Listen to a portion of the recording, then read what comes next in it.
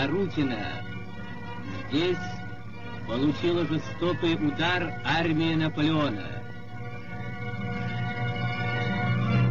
На всем месте российское воинство под предводительством фельдмаршала Кутузова, укрепясь, спасло Россию и Европу.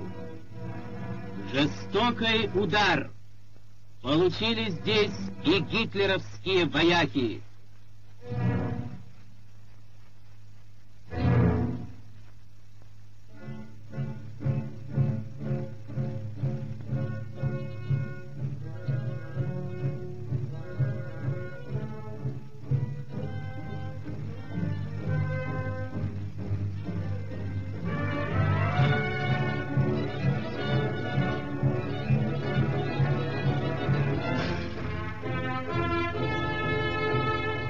Фашистские рабовладельцы думали обосноваться здесь надолго.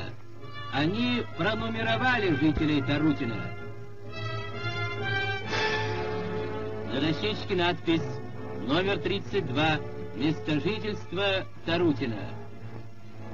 Хозяйничание бандитов быстро кончилось.